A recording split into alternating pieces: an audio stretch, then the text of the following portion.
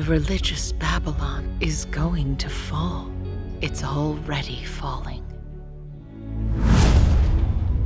2,000 years ago, the Jewish chief priests, scribes, and Pharisees nailed the Lord Jesus to the cross. 2,000 years later, the religious leaders have caused history to repeat itself by nailing God to the cross again. God's been incarnated twice to redeem humanity and to save humanity. The whole religious community is Christ's enemy. They have become stumbling blocks to God's work of salvation.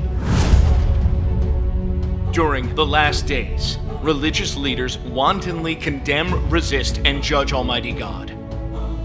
They even collude with the CCP devil to suppress, arrest, and persecute those who spread the gospel of the kingdom.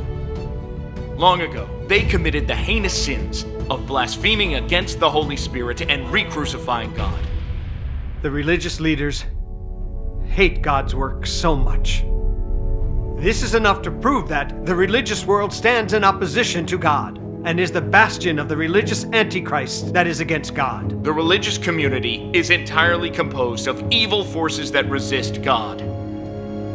It's a nest of antichrist demons. Amen. God can no longer perform his work here. Yes. It's now a satanic camp that takes God as an enemy. Long ago, it became the great city of Babylon. Amen. How could this religious Babylon possibly avoid falling under God's wrath? Amen. Religious Babylon the Great has started falling. It's just as the prophecies say.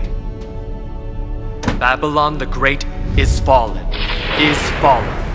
Alas, alas, that great city Babylon, that mighty city, for in one hour is your judgment come.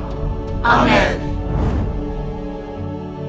Almighty God says, The religious world, how could it not be destroyed by my authority on earth? Amen.